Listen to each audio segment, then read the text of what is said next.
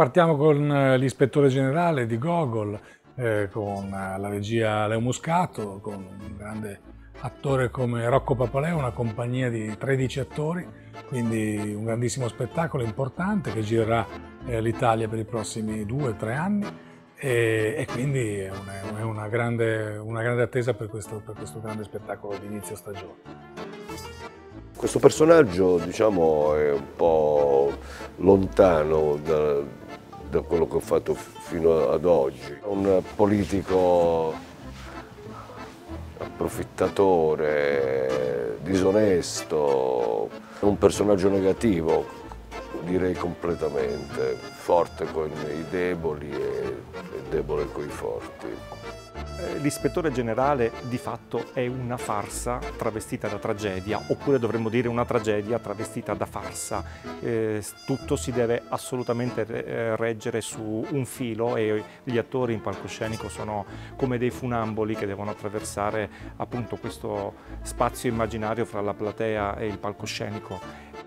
Sono anni che voglio fare spettacoli teatrali comici eh, venendo comunque dalla comicità, da vari percorsi che ho fatto io e non me lo facevo mai fare, sempre o il cattivo o l'assassino. Eh, una volta che posso fare la parte comica mi diverte da morire e poi mi diverte proprio come idea perché è chiaramente uno che arraffa tutto, tutto quello che gli viene lo prende, quindi tutti siamo un po' così in verità, quando, se possiamo farlo, quindi sono contentissimo.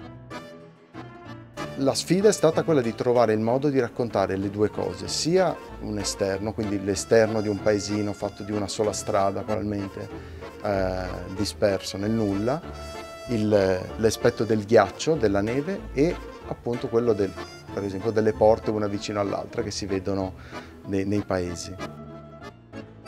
Ci siamo inventati di usare sia colori che direzionalità di luce che creano allo spettatore una suggestione del freddo, del cupo, del, di questo ambiente usando appunto una luce un po' più surreale.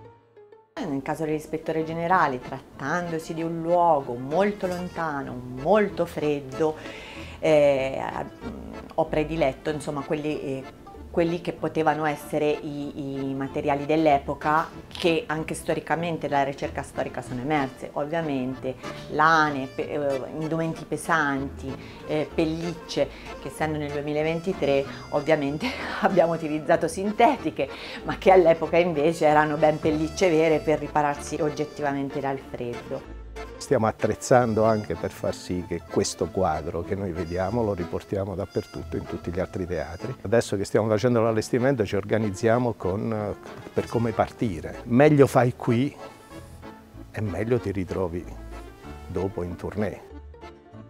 Siamo riusciti a mettere insieme per questo ispettore generale una compagnia molto ben assortita di attori che sono abituati a passare dal tragico al comico in maniera anche abbastanza semplice.